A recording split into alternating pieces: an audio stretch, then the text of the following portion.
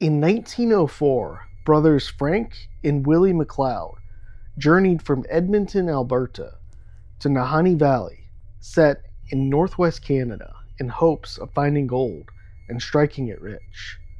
As the area is extremely remote, the men traveled hundreds of miles, many on foot, before finally reaching Gold Creek. There, the men achieved their goal, finding gold and venturing back home safely. However, the brothers weren't satisfied and wanted more gold. This led the brothers to travel back out one year later in 1905. The men, though, never returned and were never heard from again.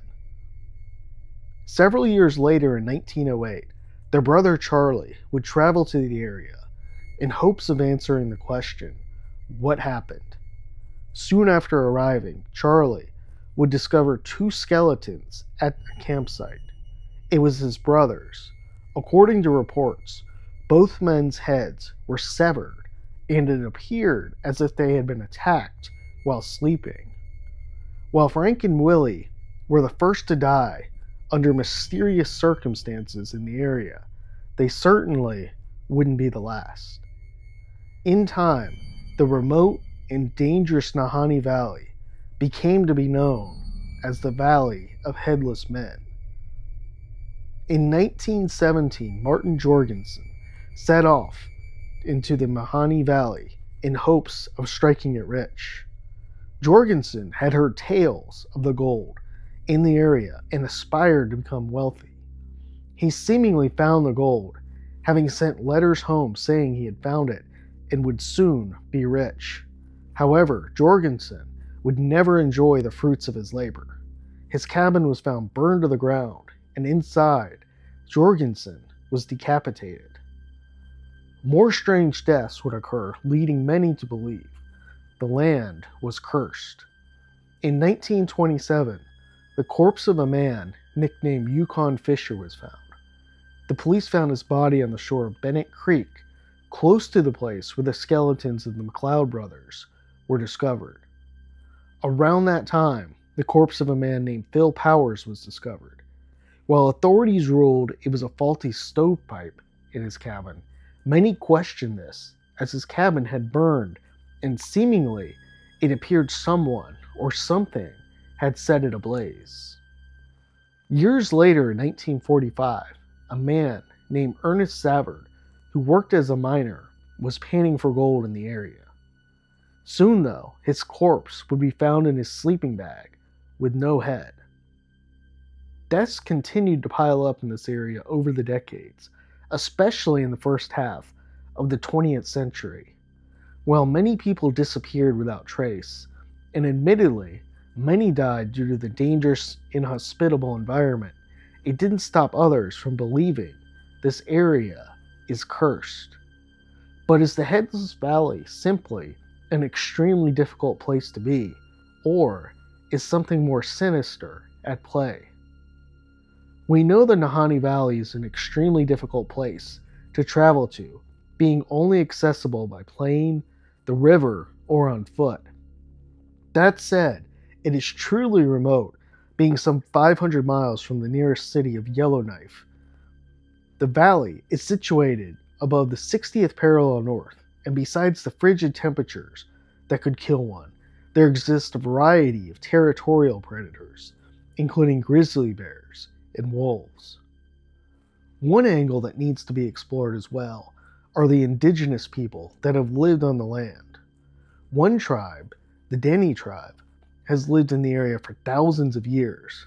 According to their oral history, they tell of a nomadic, warlike tribe known as the Naha.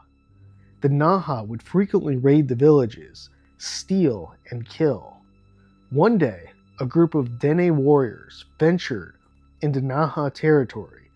As they entered their camp, they were shocked to discover no one was there. The Dene people would never see the Naha people again. Despite the hostile yet gorgeous environment, many people have other theories as to what happened to these people and the land. The first theory concerns the Wahali. In the 1960s, the academic community became very interested in the region due to its unexplored appeal. Some of the professors who returned from the Nahanni Valley had stories with no explanation. Some of these men would tell stories of massive wolf like creatures that seemingly were territorial.